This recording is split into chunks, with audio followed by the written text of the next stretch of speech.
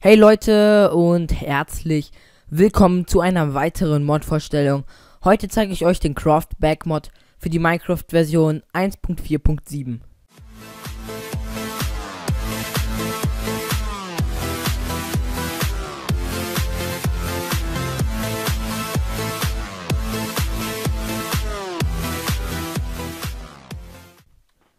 Ja, äh, was fügt der Mod euch hinzu? Wie man es auch schon hören kann, Craft Back. Also ihr habt Items, wie zum Beispiel ich jetzt hier ein paar rausgeholt habt. Und ihr habt jetzt halt einen Bogen gecraftet und ihr fällt euch ein, nein, die Strings hätte ich für etwas anderes nutzen können. Oder die hätte ich für den Stolperdraht nutzen können oder sonst was. Ja, dann tut ihr den einfach wieder hier rein und kriegt das Wichtigste wieder. Hier kriegt ihr zum Beispiel drei String wieder. Ihr bekommt natürlich nicht alles wieder. Aber, ähm, ja, halt immer so, ähm, das Hauptsächliche äh, warum ich die hier drin habe, weiß ich nicht. Diamanten. Hä, warum habe ich die jetzt da reingetan? Weiß ich auch nicht. Gut, äh, ah genau, ich hatte hier äh, Schwerter und sowas reingetan. Das zeige ich gleich auch nochmal. Ähm, also wenn man hier ein Goldingot hin tut, bekommt man 9 Gold Nugget. Ne, Ender Chest bekommt man Eye of Ender. Bei einem Brot bekommt man drei Weizen.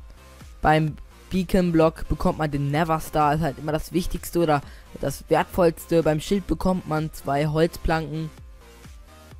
Äh, beim Anvil bekommt man 31 Iron Ingots. Und beim Enchanting Table ist natürlich klar, da kriegt man Diamanten wieder. So, ähm, wechseln wir einmal den Game Mode. Ich habe nämlich irgendwie kein Too Many Items drin. Ähm, ach, machen wir jetzt einfach alles hier oben hin. So, ähm, holen wir jetzt mal hier ein bisschen Rüstung, ein Schwert. Mit, es geht nicht mit allen Sachen, zum Beispiel mit Pfeilen geht es auch nicht.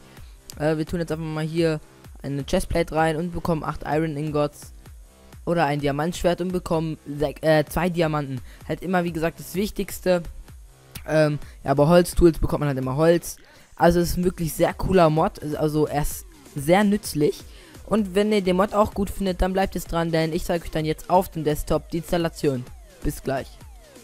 So, jetzt sind wir wieder auf dem Desktop zur Installation des Craft Back Mod. Ähm, ich habe jetzt hier so eine kleine Zip erstellt.